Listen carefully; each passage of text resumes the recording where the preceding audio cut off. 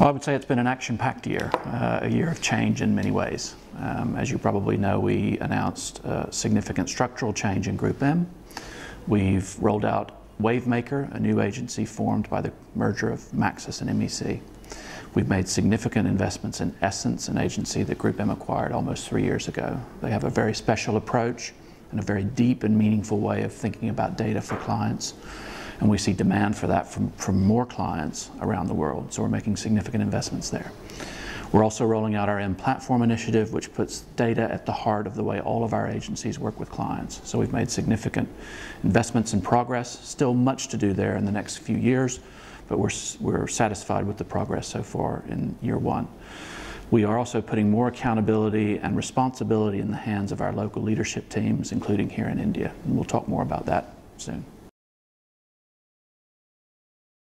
As we were looking at the changes that we needed in GroupM to drive greater accountability for clients and also to make sure that we were investing our resources as efficiently and effectively as possible, we saw great um, similarities and also shared cultures between MEC and Maxus. So there was a natural uh, affinity in bringing those two leadership teams together.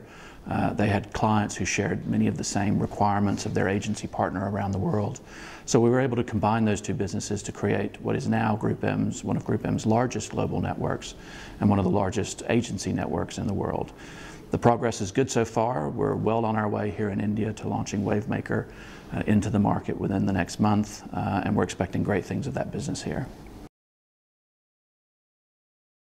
We're in the process now of putting the M platform infrastructure in place. So we've taken the technology that we've developed uh, for M platform. It is now available here to our teams in India. So they're now adapting it to the local market, working with a number of partners, working with a number of clients, uh, working with a number of our media um, um, vendor partners to ensure we have all of the possible data assets to be successful in the Indian context.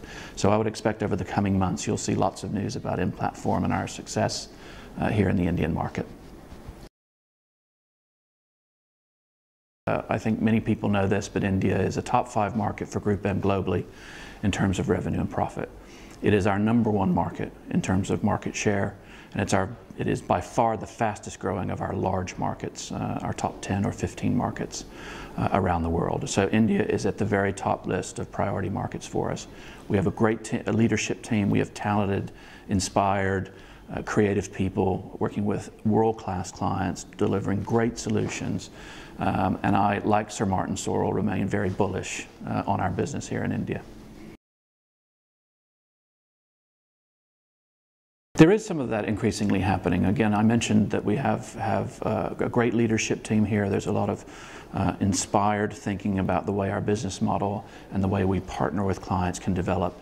We've taken some of the best practices that we see here in talent management, uh, in terms of e-commerce, in terms of data and how we apply data to clients' businesses, and we've adopted those as part of our global strategy. I think we'll see even more of that in the coming years. Uh, you look at our market share in, here in India, you look at the, the, the, the rollout of global best practices from this market, both on the client side and on our side, and only great things can come of that as we further integrate India into our global leadership structure.